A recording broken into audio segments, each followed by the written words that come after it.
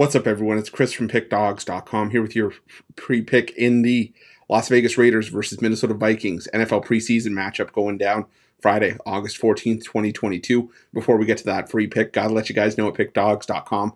We're doing it bigger and better than anyone else. Got more free pick videos on our channel than you'll find anywhere else on YouTube. So make sure you're subscribed and also take advantage of our free sportsbook bonus offer. The link in the description of this video below. Also in the description of this video below, click that join button for more information on our YouTube VIP package. Great way to get yourself some premium content for a great price uh, the VIP pass just over three bucks a day gets you premium picks from myself and Mitch, as well as add-on plays and player props that we like just as much.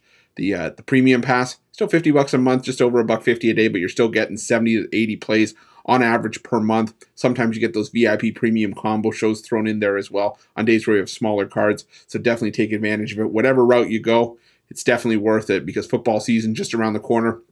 And as good as the long term deals are at Pick Dawgz Premium, you're not going to get a Capper's monthly pass or the two for one Capper promotion for 50 or 100 bucks a month. But you got Mitch and I giving you plays every single day with that VIP and premium pass. So definitely take advantage of that. But let's get to this one between the Las Vegas Raiders and the Minnesota Vikings. For the Minnesota Vikings, the big news being obviously no Kirk Cousins for this game, as Kirk Cousins did get COVID, leaving the uh, play calling duties split between Sean Mannion and Kellen Mond, obviously Mannion from his time with the Los Angeles Rams, does have some experience. And Kellen Mond, a guy that I'm personally excited to see what he has in store at the at the uh, professional level here after his time at Texas A&M. And um, you know, we've seen that you know Mannion, like I said, has the experience, and Mond is a big game player from playing. You know, he's He's taken on Alabama. He's taken on Auburn. He's taken on the big boys in college. But now he has to make that next step. Now, the thing for me in this one, though, is that you look up and down the depth chart for the uh, the Minnesota Vikings, and anybody who's watched my videos in the preseason so far knows how much I value depth in preseason betting. There's not a ton here. You know, the the the uh, the Vikings will likely put uh, Dalvin Cook and Justin Jefferson out, as well as Adam Thielen for you know a few, at least a couple series, get their legs underneath them. And Alexander Mattison not a bad option in the Minnesota backfield. But after that, you know, there's still not a uh, not a ton to be excited about in terms of depth for the Minnesota Vikings. There is still you know some solid pieces on defense, but again, there's just you know a lack of depth for me, and and you know it, it doesn't make the uh, the Vikings easy to back, especially without you know their starting quarterback for at least a couple series where you could do some damage and give yourself a chance with some early points that when you're getting them in, in, in an underdog role in the preseason could be very valuable. But on the other side, you got the Las Vegas Raiders, who, albeit didn't play their starters in the uh, in the Hall of Fame game, we saw the majority of the third and fourth string action, but still.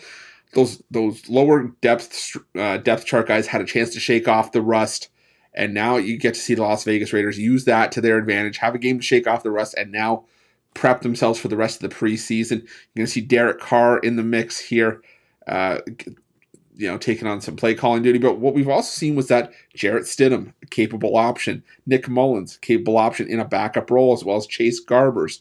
You know, we're, we're going to see some, probably see some Josh Jacobs and Davante Adams here, as well as Hunter Renfrow, Keelan Cole. And I think you're going to want to bubble wrap those guys if you're the Las Vegas Raiders because you can ill afford to not have those guys on the field this season. But like I said, the advantage goes to the Raiders here just because they've had a game for those lesser string guys who are probably going to see the majority of the action here.